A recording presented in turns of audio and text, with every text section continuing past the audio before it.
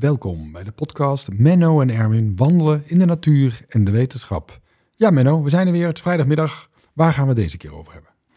Ik wou dit keer hebben over uh, één persoon en dat is uh, Jacques P. Thijssen. Jacques P. Thijssen. Ja, ik had er nog nooit over gehoord, maar toen we met Inge zaten over de paddenstoelen, kwam jij met de verkadeboeken.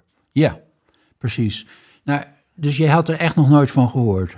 Nee, de naam Thijssen niet echt, nee. Ja, dus, dat is wel grappig. Nou, dat is helemaal niet erg. Um, want sommige mensen zien hem toch als een van de, de belangrijkste personen in de, van de vorige eeuw. Okay. Uh, hij stond heel hoog in allerlei ranglijstjes. Uh, en dat is wel heel bijzonder voor iemand die begonnen is als een heel eenvoudige onderwijzer. Ja. En die in zijn eentje kans gezien heeft om uh, de, een van de grootste verenigingen van Nederland op te richten. Okay. Het grootste grondbezit van Nederland bij elkaar te brengen.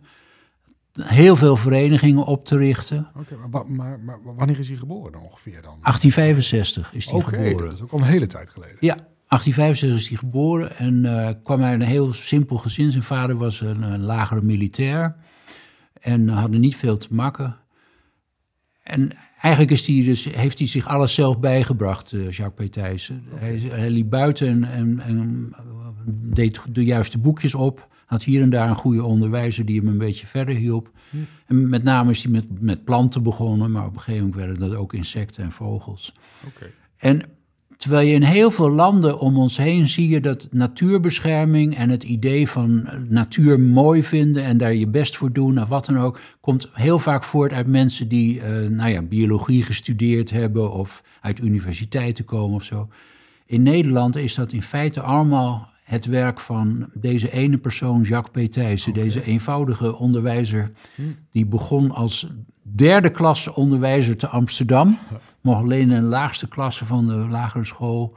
En dan de, de, van de, de, de laagste lagere school die er was, er waren allemaal nog klassen en toestanden, uh, mocht hij lesgeven. Okay. En geleidelijk aan is hij opgeklommen tot hij op een gegeven moment dokter Jacques P. Thijssen was. Want uiteindelijk heeft hij een eredoctoraat gekregen. Ja. En is tot grote hoogte gestegen. Ja, maar ik ben wel heel benieuwd hoe, hij dat dan voor elkaar heeft gekregen.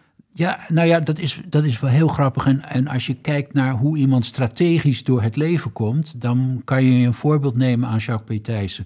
Dus hij kwam uit een heel eenvoudige verhoudingen. Is, het is hem net gelukt om op, op de kweekschool te komen, dankzij zijn kennis van veldbiologie die hij al had en, en zijn ijver en zijn enthousiasme. Ja, en uiteindelijk is hij dan de derde klas onderwijzer geworden in Amsterdam. Ja. Nou, daarmee kon je helemaal niks. Maar dan ging je actes halen, actes Frans, actes Duits, actes uh, uh, Engels. Uh, en, en, op een gegeven moment ja, kon je dan klimmen, dan werd hij tweede klasse onderwijzer.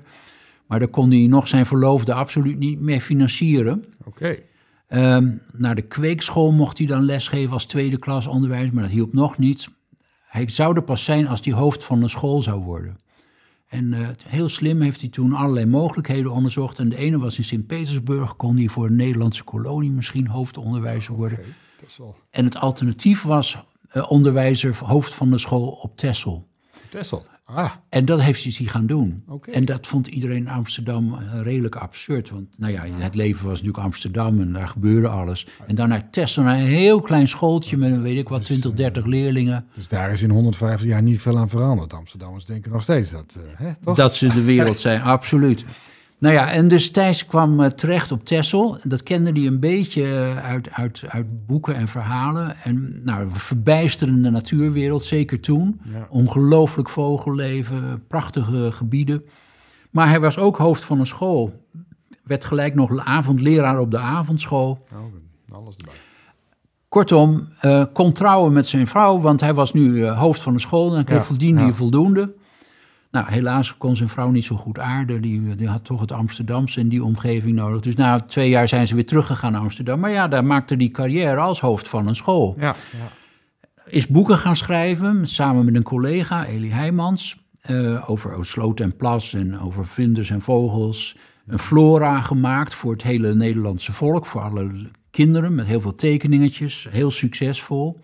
En op een gegeven moment gevraagd voor de Verkades-albums. Ehm, plaatjesalbums waar je, als je maar veel beschuit had, dan kon je genoeg bonnetjes of plaatjes verzamelen. Kon je inplakken. Door heel beroemde schilders waren dan eh, die albums gemaakt over lente, herfst, paddenstoelen, vogels, tuin, planten. Ja, en daardoor werd hij steeds bekender en bekender. En uh, hij begon ook mooie boeken te schrijven. Het, uh, omgang met planten, het intieme leven der vogels. Ook boeken okay. die echt wat inhoud hadden, maar ja. allemaal gebaseerd op zijn eigen ervaringen, op zijn ja. eigen waarnemingen. Hij was berucht om zijn hoge looptempo, want dan kon hij meer zien op stille, dan kon hij langer stilzitten op een plek om beter te kijken. Dus hij was heel actief buiten. Met zijn collega's schreef hij al die boekjes erover. Ja, en geleidelijk aan werd hij dus iemand. Ja. En uh, hij werd gevraagd voor verenigingen, natuurverenigingen, mocht hij oprichten. Maar denk, maar denk je, Menno, dat het dan vooral kwam door die verkadeboeken? Of zeg nou, nee, het is een combinatie, combinatie van al die dingen. Ik bedoel, hij was een heel enthousiast onderwijzer, maar wel een heel bijzondere. Hij ging vooral met de, met de kinderen naar buiten. Oh, ja. Want hij zei, één uur buiten, dat is beter dan zes uur in de klas. Ja, nou ja, dat, die verhalen horen we nu ook nog wel eens. En... Uh, ja, en, en hij wist door zijn enthousiasme, wist die kinderen gewoon mee te nemen, hm. mee te slepen. Dus dat, hij, hij werd bekend als, als een ongelooflijk enthousiasmerend iemand. Ja, ja. Hij was ook wel een beetje een compromisfiguur. Hij maakte nooit ruzie, zou ik maar zeggen. Nee, nee. Maar goed, dat, dat, dat hielp hem wel. Dus hij zat in de, in de botanische vereniging, in de insectenvereniging, in de vogelbescherming. Op een gegeven moment in de, heeft hij opgericht de Nederlands Ornithologische Unie, de echte onderzoeksvereniging voor vogelkunde. Uh, heel belangrijk, uh, de Natuurhistorische Vereniging, wat we nu kennen als de KNNV, de Koninklijke Nederlandse Natuurhistorische Vereniging. Die een algemene vereniging, die bestaat nog steeds. En die heeft hij ook opgericht. Ja, heeft hij ook opgericht.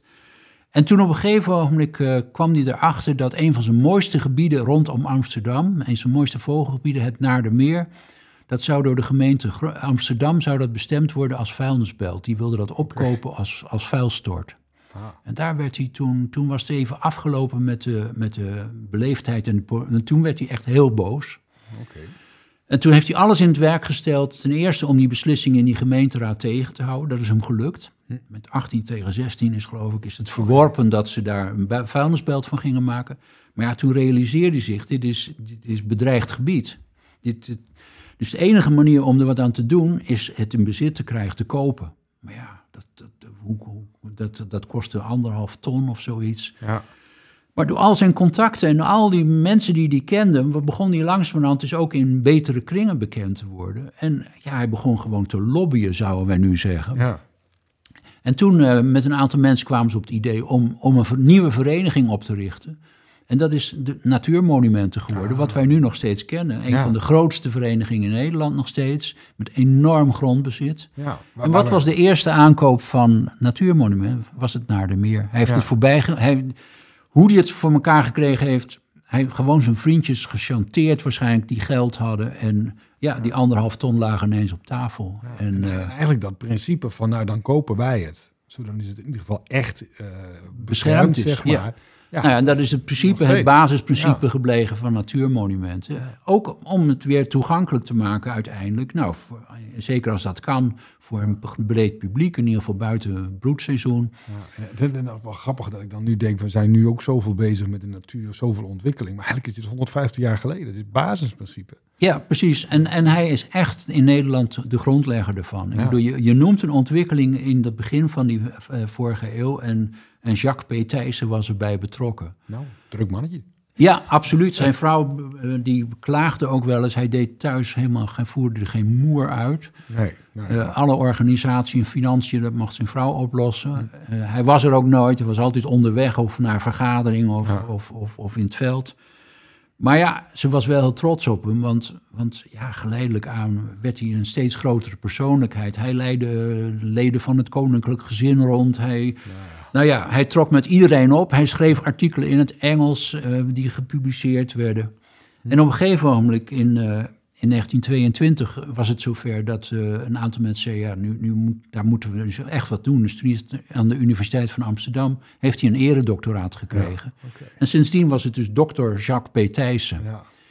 Tot voordeel had dat hij eindelijk benoemd kon worden op een middelbare school. Want op een middelbare school kon je alleen maar lesgeven als je, als je een academische titel had. Ah, oké. Dus toen heeft hij in Bloemendaal op het eh, lyceum daar is hij leraar geworden. Nog Hm. een, eh, een jaar of tien. Uh, doet hij dan eigenlijk vooruit uit zijn eer? Of, want ik bedoel, als je zoveel dingen al opgezet hebt en gedaan, dan... Ja, nou ja, dat is dus het absurde. Dat is zo'n ambtelijk systeem. Dan moet je dus, je moet een academische titel hebben. Toen was dat nog zo. Op een middelbare school wilde je daar les mogen geven. Nou, op die manier is het gelukt. Ja. En uh, ja, vanaf dat moment uh, heeft hij zeg maar, nog een, een, een, glorieuze jaren gehad. Hij werd overal uh, uitgenodigd en, en, en, en, werd geconsulteerd. Hij zat in eindeloze commissies. Achteraf gezien denk je wel eens, hij had misschien hier en daar nog wel wat harder op de trom kunnen slaan. Er zijn toen heel veel prachtige natuurgebieden alsnog naar de Filistijnen gegaan.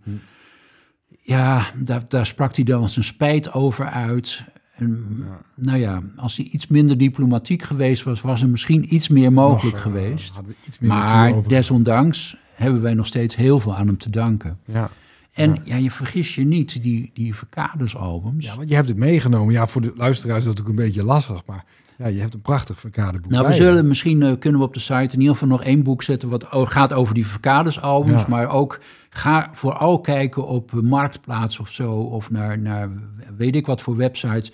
Je kan die Verkades-albums nog steeds voor een prikje kopen. Soms tussen de, voor, voor tussen de 10 en 15 euro heb je die Verkades-albums nog omdat die in honderdduizenden verkocht zijn. In totaal zijn er, is het het belachelijke getal van 3 miljoen Verkades-albums verkocht. Ongelooflijk. En dat is marketingactie. Ja, dat, dat, is marketing, ja. Dus die, die, die koek- en beschuitfabriek, die, die is er niet slechter van geworden. Nee, maar ik vind het ook grappig, het idee van plaatjes in een boek plakken. Ik denk, ja, ouderwets, nou, uh, mijn dochter en zoon lopen met Pokémon-paardjes. Dus wat dat betreft zitten we niet zo ver af, hoor. En, en, uh, en, volgens mij was er een groot grutter die nog steeds plaatjes ja. over de diepzee, geloof ik, dit ja, jaar. en zo. Uh, dus, principe gaan nog steeds door. Het is hetzelfde principe. En je moet weer dingen kopen, wil je die plaatjes krijgen. En dan, nou ja. Dus het is, nee, dat, wat dat betreft voor een deel zijn tijd vooruit geweest en, en een voorloper. Maar ja, aan de andere kant vind ik het ook heel bijzonder dat één zo iemand met zo'n enthousiasme dat, dat voor elkaar kan krijgen. Hij heeft zelf altijd gezegd dat hij heel veel te danken had aan zijn collega Elie Heijmans. Was ook een hoofd van een uh, lagere school. Samen hebben ze aanvankelijk al die boekjes geschreven. Die, Elie is uh, relatief vroeg gestorven. Um, maar, dus hij had de goede mensen om zich heen. Maar ja, het is wel heel bijzonder dat één iemand zoveel invloed en, uh, kan hebben en zoveel voor elkaar weet te krijgen. Ik, ik heb het gevoel, we hebben, weer we hebben eigenlijk ook weer behoefte aan één zo'n persoon. Ja, de, dit soort charismatische beetje... personen, maar dus, dus ook ik bedoel, hij, hij had een lichte afkeer van om zich heel erg zwaar politiek te uiten. Want dat, dat vond hij tijdverspilling. Hm. Het ging om belangrijke dingen. Uh, De kwaliteit van het leven, dat vond hij wel heel belangrijk. Ja. Dus hij zat ook bijvoorbeeld in de Bond Heemschut. Die heeft hij ook mee opgericht. Dat is de bond die monumenten, cultuurmonumenten overeind hield. Okay. Molens en, en kastelen en weet ik wat allemaal niet. En mooie oude woonhuizen. Dus hij was echt een, eh, een ja, had universeel belangstelling voor cultuur en natuur. Hm. Uh, en, en, met zijn enthousiasme wist hij, dat, uh, wist hij dat voor elkaar te krijgen. Hij was de grootste propagandist van natuurmonumenten. Als je, uh, voor een avond was hij altijd te vinden om daar ja. weer een verhaal te houden. Ja. ja. Dus, goh, en dat allemaal honderd jaar geleden, jongens.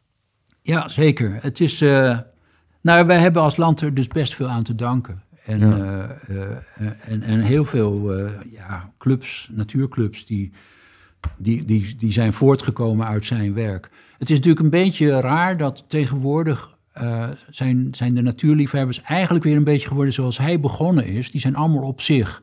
Die, die gaan het veld in en die hebben op hun, op hun mobiele telefoon zitten allemaal programmaatjes waarmee ze plaatjes maken. En dan wordt er gezegd welke plantensoort het is, ja, of ja. welk insect of welke vogel.